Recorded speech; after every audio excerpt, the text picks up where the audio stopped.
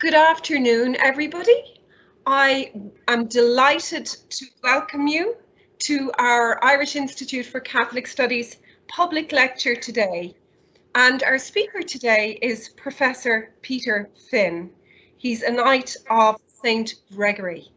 And Professor Finn is principal of St. Mary's University College, a university college of Queen's University in Belfast, and St Mary's is a member of the International Federation of Catholic Universities.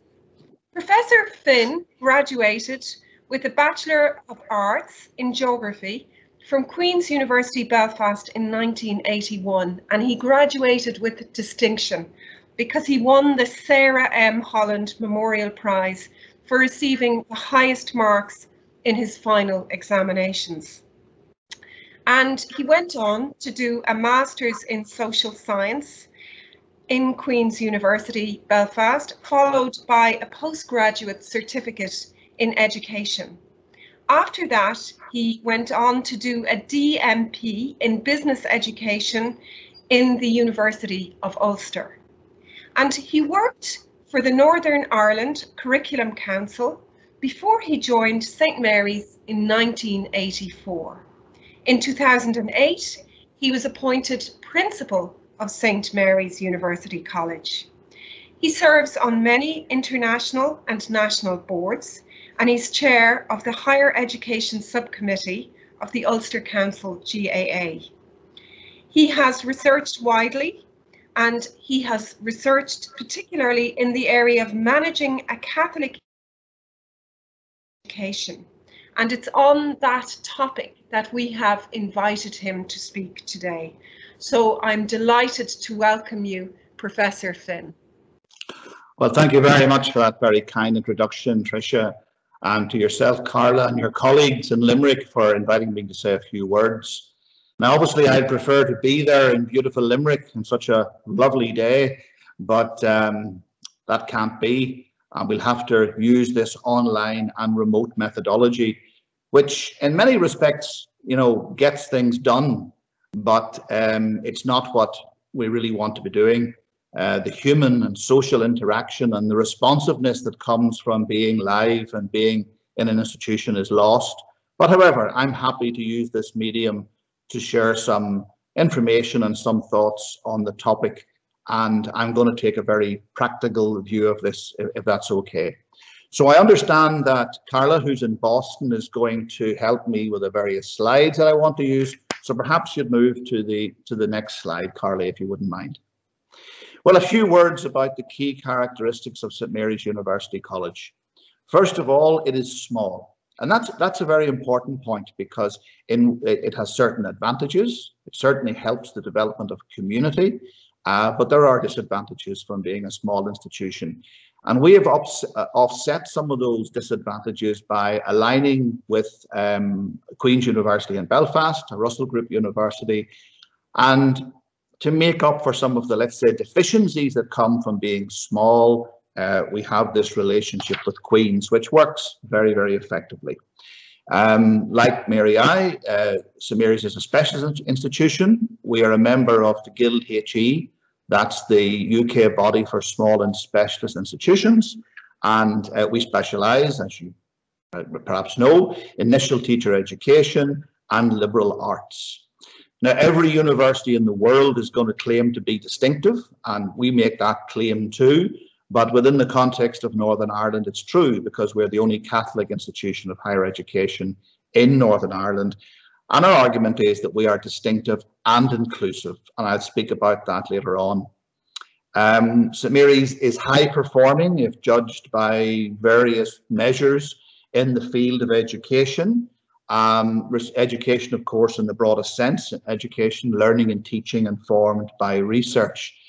But as a small institution with limited resources, uh, resort, I am quite clear that uh, research is not our strength and that we focus on what we do well, which is working with students in their learning and teaching and holistic development and aiding them on their pathway to a, a good career and a good life. And that's our focus. And of course, the college is located on the Falls Road in West Belfast. And context is very, very important when it comes to the many, many higher education institutions of uh, in the Catholic tradition throughout the world. So we are in a particular place, in a particular time, and that sets sets a context.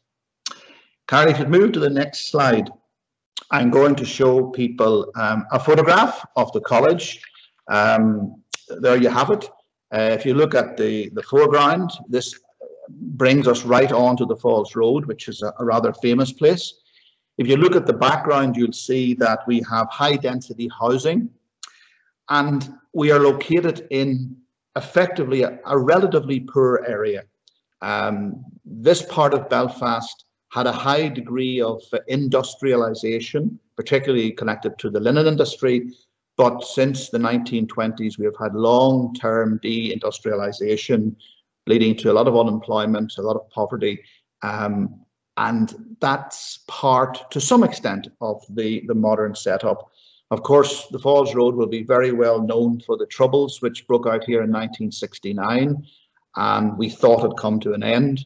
In fact, in the photograph you're looking at, if you look on the right-hand side, uh, about uh, one quarter of the way down, um, that's the interface between the Falls Road and the, well, not the Falls Road, Springfield Road and the, and the Shankill Road, where some of the violence took place um, last week. So we're about two miles from there. So this is a particular place in our world with characteristics that in many respects are are very unique um, in in the and certainly in the in the Western world. Um, however, I have to say this area has experienced in the last 20 years and certainly since the signing of the Good Friday Agreement, a period of revitalization, of growth and development, largely around culture and education as the driving forces. And St Mary's has been very much a part of that story, which is a very good story. So whilst there certainly is a context of under, underlying underemployment, uh, unemployment, sorry, and um, certainly poverty, I have to say, uh, there's a good message too. And, and we're part of that, thankfully, which is something I'm going to speak about. Carly, if you just show us the next photograph. Obviously, in any Catholic university, the chapel or the church is, is a critical part of it. Um, so here we have a beautiful chapel that was built by the Dominican sisters and opened in 1900. Um, it's an environment which is used for all sorts of community religious events and of course for private prayer and other uh, student focused activities. On the right hand side you can see one of the famous Harry Clarke uh, School of stained glass windows. Um, but it's a beautiful environment and it's a very important part of our campus. Uh, which is well used. So if you'd move to the next of the various slides, um, I think it's always a good thing, and maybe it's, I think it's Irish, but it's probably all over the world. You know, we try to make connections with people. We try to, um, you know, to bring us together in some way, even if we're apart. Um, so here's a couple of ideas I've put down here which make a connection between St Mary's University College in Belfast and Mary Immaculate College in Limerick. And I refer to letters of July 1898, and you're probably saying, what's that all about? Well, believe it or not, uh, two letters were dispatched um, by the Chief Secretary, Chief Secretary's office in Dublin in July 1898 to the bishops here in the north and the bishop down in Limerick to announce the decision that the British administration in Ireland had decided to establish two teacher training colleges for women. Uh, one of them was to become St. Mary's and the other was to become MIC. So actually, these two institutions were brought together, were born, were created, whatever way you want to put it, on exactly the same day, penned um, by the Chief Secretary's Chief Secretary in Dublin Castle. And that is as strong a connection I think as you're possibly going to get. There were certainly, according to our records anyway, ongoing connections between the two colleges uh, because they were both part of the same all island, so to speak, uh, education system until partition. And of course, partition separated the institutions and there has been very little communication until recently, ever since partition um, has impacted on virtually every aspect of life on this island. Um, I have to say that I was privileged to, to know uh, the deceased um, Professor Peter Cremen. Um, Peter invited me down to Limerick when he was president. Uh, he was a geographer like me. We got on exceptionally well. And, and the connection, a human connection that I've made with uh, MIC was very much facilitated by Peter. And then you had the awful loss of Professor Michael Hayes. Michael, I met when he was over at uh, St Mary's University in Strawberry Hill in London. Uh, I got to know him there through various activities, and he too invited me down to, to Limerick. And uh, he, was, he was a huge loss to me. We met on many occasions, we exchanged many thoughts and ideas. In fact, we traveled together to Paris at one stage and had an outstanding meeting over there with the OECD head uh, of education. So I remember Michael very well, and I was I made the made the important decision to go down to Mary I uh, for the service uh, for Michael at the time that he passed away. I don't know Professor Eugene Wall as well. He certainly was there in one of my visits. But what I've observed from a distance is that under the leadership of Professor Wall, um, this institution, MIC, has really taken off uh, in so many ways. And it's very clear that it's a very high quality institution that's growing and developing in all shapes and ways. And I commend the institution in that regard. Uh, a small little footnote in all of this is that these two, and they still are, we are very small, and Mary I is small.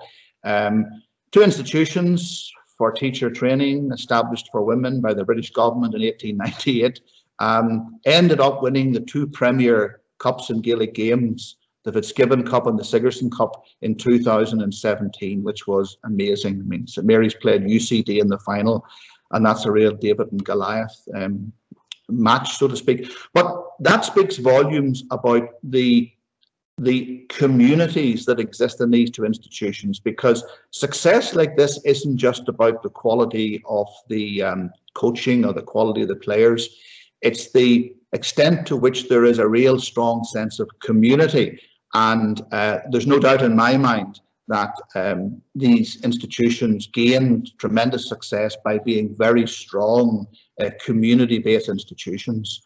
Um, I learned, by the way, after the event that the team from St Mary's who were playing these matches against Cork and, and, and UCD insisted upon being brought to the Knock Shrine before the game, which they won and more importantly, asked to go to this Knock Shrine after they had been victorious. So I'm taking that as a, a light-hearted um, sense of achievement in terms of our identity.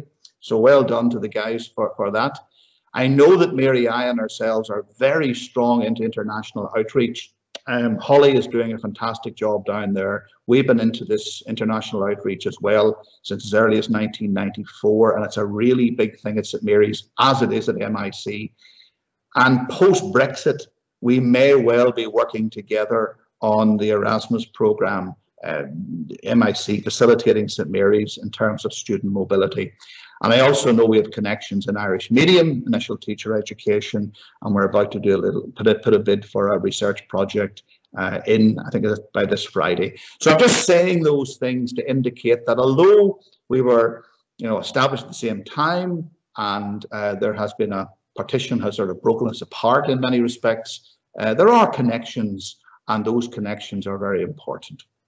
So maybe if you'd move on then to the next one. Um, which is at the core, really, in many respects, of, what I want to say.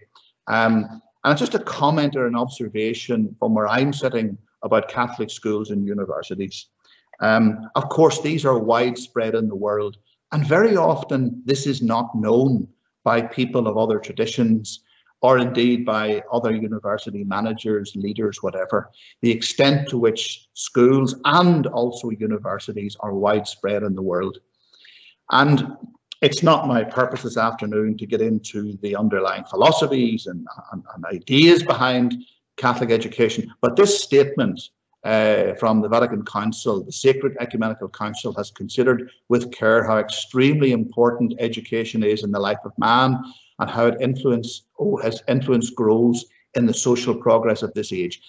This declaration, this document, to me is absolutely critical in signalling a, a big change, so to speak, in the direction of Catholic education, broadly speaking, certainly in schools and certainly in universities.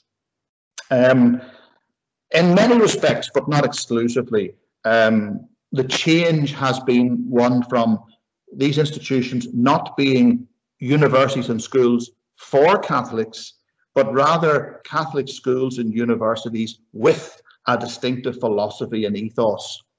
Um, and that's very different. Uh, and certainly the, the, the, developments that have taken place and emerged from the Second Vatican Council with respect to higher education in the Catholic tradition have been very, very immense, enormous change. And the change from for Catholics to institutions with a distinctive philosophy and ethos. Now, I mean, the teachings of the, of the Church on Catholic education and the various academic literature on these matters are vast. So to summarize in a very short few sentences, um, I try, uh, but from my point of view, um, the Second Vatican Council signals, as far as universities and indeed schools are concerned, a focus on the human person and a focus on holistic development of that human person. It focuses on the power of education to be transformative. It makes the connection between education and social justice. It firmly states that gospel values should be at the heart of education. And it also makes a, big plea for high quality provision.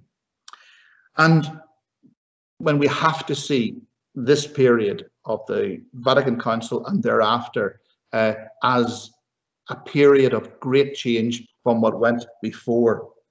Um, specifically with regard to higher education institutions, um, it is probably true to say that many Catholic universities and colleges were very teaching focused before the Second Vatican Council and its declaration.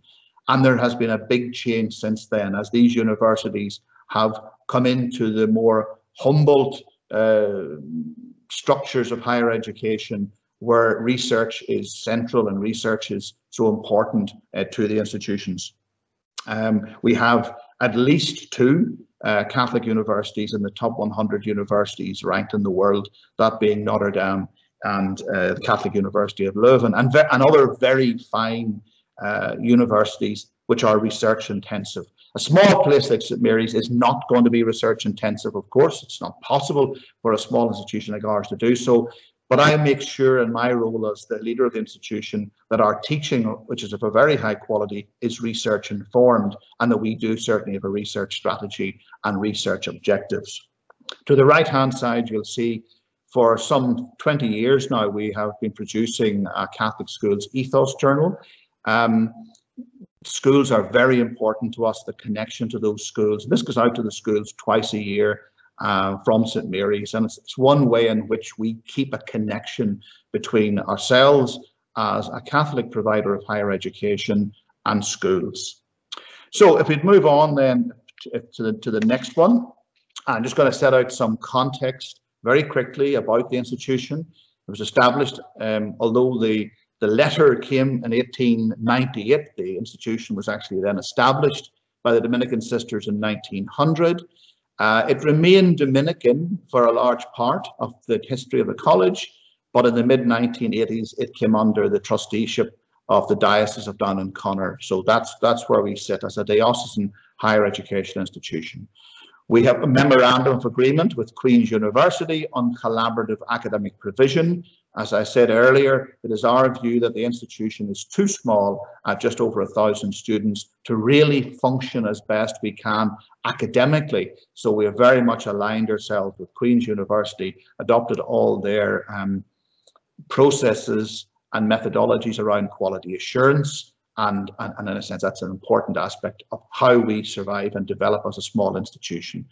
We're funded by a grant from the Department of a Regional Administration. And I say that because Mary I is in a sovereign state. And I think we have to make the difference between how a, a higher education inter institution interacts with the government of a sovereign state and how the likes of ourselves interacts with a government department of a regional administration. A vast difference. And of course, we're funded to some extent from student fees. St Mary's is a recognised provider of higher education in the United Kingdom, approved by the QAA. So that's a recognition in our own right as a higher education institution, even though we have taken the decision to be academically connected to Queen's. 89% uh, of our staff self-designate as Catholic and 95% of our students self-designate as Catholic. That's important in the north of Ireland because these these statistics are processed by government and we are held to account for the extent to which um, we have a commitment to increase the number and percentage of staff who are other than Catholic and likewise with students. And we engage with government uh, on that matter. So that's some sort of context. It's difficult because, you know, there's a mixture of things going on here. It's a publicly funded institution. It's private by designation by the Organization of National Statistics. It is aligned with a secular university, and yet it's still Catholic. And that's what we have to manage uh, and define the space within all of this for St. Mary's to express itself as a Catholic higher education institution in the global family of Catholic universities and colleges. So if we could move to the to the next one. I'm just going to set out here some of the things I am going to speak about. Um, I'm going to use this word intentionally. So, you know, first and foremost, St. Mary's is an institution of higher education, but it has this label Catholic. And it's certainly our view and my view that that has to be an intentional statement, something that's not um, just taken for granted. We have to go out of our way to be such. And therefore, I'm going to say a few words about the trusteeship, which is obviously with the local diocese, with identity, which we have to promote and plan for and develop. I'm going to speak about aspects of leadership and governance, ethos and management, partnerships and dialogue. Now, I mean, why am I doing this? Well, I suppose from my own point of view, uh, in the past, when the college was led by, let's say, a priest or by a nun, um, it was very clear and self-evident that St Mary's and all it did was within the Catholic tradition. Um, my own view is that when the institution is led by a member of the laity and by other senior members of staff who are also lay members, um, we have to be more explicit about this. We have to be more deliberate, let's say, in how we go about communicating what we are. Uh, and that's what we have done. Um, we've been more deliberate and more directive in terms of setting out our stall, uh, not in any aggressive sense, not in any sense other than to let people know what St. Mary's is, what's it about, how is it different, why is it different, and how we do things differently, even if we do those many things in collaboration with others. So that's the sort of agenda I hope to speak about for the next 10 minutes. So maybe you'd like to, if you'd move on to the next slide there. It goes without saying that there are huge challenges in having that label Catholic to higher education institution. Um, there is a prevailing um, technocratic and economic rationale for um, for for education. Sorry, I've got that wrong in my uh, presentation, but what I really meant was uh, technocratic and economic rationale, which is all over the world and very different from the Declaration on Catholic Education as set out uh, at the Second Vatican Council. I mean, how different can these things be? Um, we know about relativism and secularization in society. That challenges us an ongoing erosion of the Christian tradition. The mass media and social media very often challenge any organization or indeed very any individual who promotes a Christian Catholic way of living. Uh, and that's a challenge for us. Within the north of Ireland, there is a particular problem when people label an institution like St Mary's as an institution which is promoting segregation. That is a very bad word, as we know, it's very bad connotations. And yet recently I heard um, an education professor from a university in the Republic of Ireland describing school school experience of those who do not go to integrated schools as a segregated educational experience. And that's very difficult for us to accept uh, for all sorts of reasons. But to, to label a form of education as a segregated form of education is a dreadful, dreadful statement and one we have to deal with and deal with the idea of conformity, the idea that certainly up here there are people who would want to bring about a oneness to things where in fact it's a very diverse society and that diversity should be celebrated and not corralled into some sort of conformity. Um, one thing that's very big, and anyone working in higher education will know there's a huge burden of, burden of compliance on publicly funded institutions of higher education. And that can take away simply by the fact that it takes away valuable financial resources and very valuable time. That can take away from the mission and the core mission of being a Catholic university in the first place, um, because there's no getting away from compliance. And I often have difficulties with some of my academic staff about this, that we do have to invest in areas of college life, in human resources, in financial management, and, and in, in, in registration, to be able to ensure that we are in compliance with government regulations. I, look at American universities and I say, where does the money come from for vice presidents, for um, mission effectiveness, or, or the wonderful campus ministries they have? If I could take the money that I'm putting into compliance and put it into mission effectiveness and campus ministry, I'll be a very happy person. Um, these institutions, well, certainly in the United Kingdom, depend so much on the student demand for places, and that's something we have to work on all the time to ensure that we have a high level of demand. But in, in regard to those challenges, um, our objective is to essentially rejuvenate and revitalize our Christian community continuously. And that's what we try to do. And the chair of our Board of Governors is Bishop Noel Treanor, the Bishop of Down and Connor. And that's something that he is doing within the Diocese of Down and Connor in his role as the Bishop. And in a sense, that falls to us here as well to do something very similar, to be rejuvenating, revitalizing our Christian community, to address those challenges, uh, and to, in a sense, continue to develop and survive despite the challenges that, that exist. Understanding, of course, that challenges has, challenges have existed for church institutions for all time, so it's nothing new. So we could move on then to the, the next slide, which addresses leadership and governance. The main point I want to make here is that I'm certainly of the view that we have to be very intentional in regard to the leadership and governance of the college as it applies to its Catholic identity. You know, what I mean by this is that we just can't take things for granted. We can't assume that developments will take place. We have to ensure that our mission statement is very clear as to our Catholic identity. We have to ensure that the Board of Governors have an oversight of the Catholic identity of the institution, as well as all the other areas required by corporate governance. We have to ensure that our strategic plan puts identity as one of the key areas of development. And in our plan, it does. We have to go beyond, um, I suppose, you know, wishful thinking about ethos and actually state what our ethos is and to have an ethos statement that we can stand over. Um, we shouldn't be shying away from symbols and traditions uh, because they're important. They're important visual elements of our identity. So the image to the right hand side of the older part of the campus here has a flag and that flag has a, a cross on it and that's a symbol and it's a statement and we're quite clear about that. Unfortunately, at times we've had to be very defensive and very protective of our institution.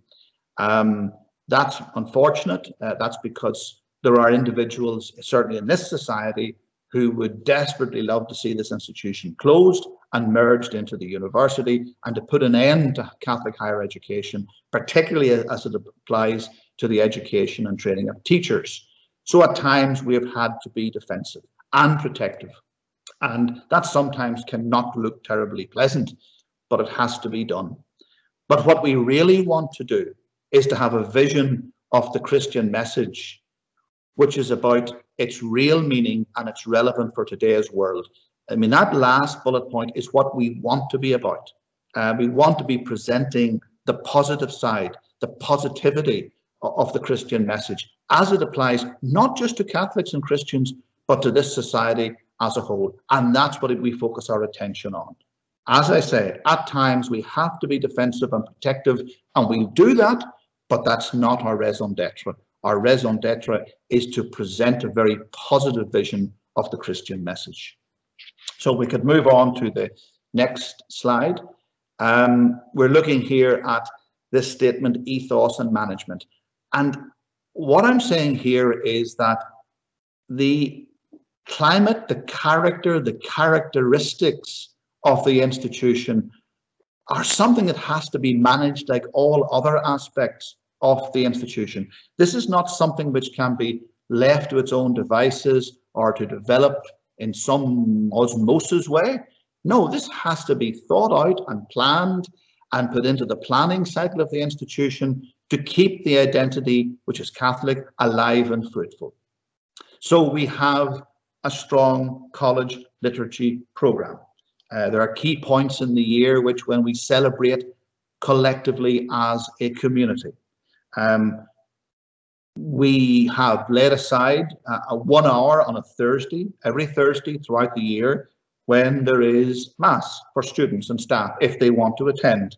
No lectures are allowed to take place at that time, no meetings and no other activities. So that's our space once a week on a Thursday afternoon. And we leave a space afterwards for some student societies to develop their work. We have a Newman Society of students who uh, contribute to the liturgy and who do good work uh, in the Christian sense throughout the college. And we support those, that society. Uh, that's important. These are people who have volunteered to be part of a, a very good venture as far as I'm concerned, and they are supported. Like all universities, we provide pastoral care for staff and students, but I do believe we go the extra mile here. Uh, this is a really important part of what we're about. This is a very, very important part of what we do. I would be very, very annoyed if our level of pastoral care for staff and students was not seen to be at the very highest level. Obviously, we have a great range of uh, programs of study, but to tell you that religious studies is the most popular subject in our Bachelor of Education degree, and it's the most popular subject in our Bachelor of Arts degree in Liberal Arts. Um, and that's important. We have very large numbers of students who are taking religious studies as part of their undergraduate programs. Um, we have a, a, religious education program for postgrad, postgraduates and undergraduates which is again very popular and uh, leads to the qualification to teach in a Catholic primary school. Um, so the programs uh, have a strong Christian tradition in them. We encourage students to engage in service learning through volunteering, and we have a special office for that purpose. Inclusion is really important here. Uh, in the United Kingdom, we talk about widening participation. Uh, this is an institution which would be a high performer in widening participation, uh, particularly students from low income backgrounds and those with various forms of disabilities. We'd be right up there in terms of the, the percentage of students who fall into those categories whom we support from they arrive until they leave. And also the important aspect of reputation, that the institution has a reputation for being Catholic, for being caring, for being inclusive, and reputation is really important in the modern world, and it's something we work hard to maintain and sustain over time. So if you could move on to um, the next one, which is partnerships and dialogue. I mean, the Vatican, Second Vatican Council and all aspects of Catholic education will talk about outreach. Uh, we are no longer in our secluded world. Uh, we are part of the bigger world. We're part of the mainstream, so to speak. So this institution works in various different ways with the diocese, uh, various diocesan events that are held here, and we cooperate with the diocese in, in, in num numerous ways. We obviously work with Queen's University, albeit a secular university, but we work closely with, it, with that. Um, in terms of the local community, um, that's a really important aspect of who and what we are. Really, really important aspect. Um, maybe one of the two defining characteristics of the institution. Um, I'm going to emphasize two areas. Um, we have a special relationship with a local group here which is involved in, um, I suppose, reforming and revitalising this area. It's called the West Belfast Partnership Board.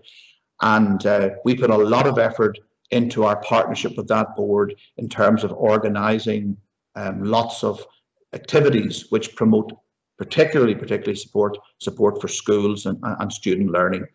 And then we have a very large programme with another cultural organisation, Féile an Phobail, the Festival of the People, which is held here in August. Uh, some 20,000 people will come to our campus in August to various activities which are held here. And that's us outreaching. We have a diversity and mutual education programme with uh, Stranmillis University College, which uh, is a state-controlled uh, teacher education institution. We obviously have great partnerships with schools for placement learning. Um, all of our liberal arts students undertake internships. So we work with a whole variety of different providers in the world of business and uh, various other types of organisations to provide that. Um, we work with the Police Service of Northern Ireland in a variety of different ways and other statutory agencies. We have international connections like your, like Mary I. And the point I'm making here is that as a Catholic institution of higher education, we have a mission to be in the mainstream.